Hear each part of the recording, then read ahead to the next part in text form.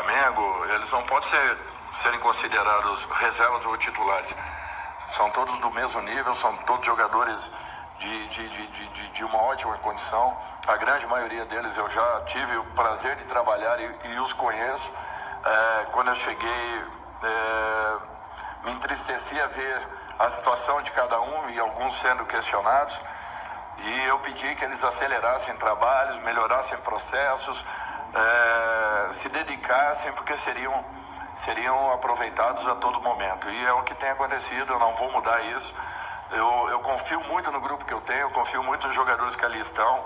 É, não desisto de jogador nenhum. Inclusive, o que aconteceu hoje com o Vitinho é lamentável porque o que ele tem trabalhado, o que tem se dedicado, e em algum momento ele vai encontrar a sua melhor condição, e eu torço para que isso aconteça. Enquanto o jogador não desistir dele próprio, pode ter, podem ter certeza que nós, a comissão e os diretores, não, não faremos, porque nós confiamos, acreditamos e temos a certeza que serão jogadores ainda que nos darão ótimos resultados.